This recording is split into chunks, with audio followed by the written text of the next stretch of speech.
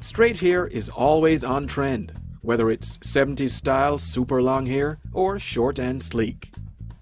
Before you start to straighten your hair, you'll need these hairstyling essentials. A hair dryer with nozzle, some sectioning clips, a round brush, a wide-toothed comb, straightening irons. Use Wella Pro Series shampoo and conditioner. Use your hair dryer to dry your hair until it's a little more than towel dry.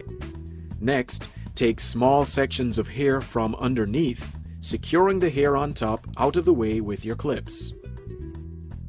Once the parting has been created, start to blow dry the hair using your round brush and hair dryer. Start from the roots and work up to the ends with the hair underneath. Once you reach the last sections, find your parting and dry your hair into your desired style.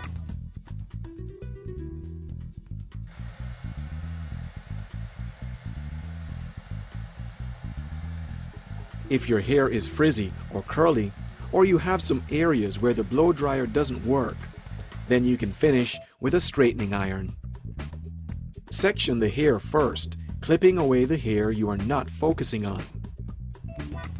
Always start at the bottom. Then, take a small section of hair between the plates. Gently glide the plates from the roots to the ends in one movement. Avoid leaving the irons on your hair for longer than a few seconds. For fine hair, focus only on the lengths and ends. Sectioning the hair at the back of the head and concentrating on one part at a time is the key to fabulous style. To sum up, Take small sections from underneath using clips to secure. Blow dry using your round brush and hair dryer. Use your straightening irons to finish the look.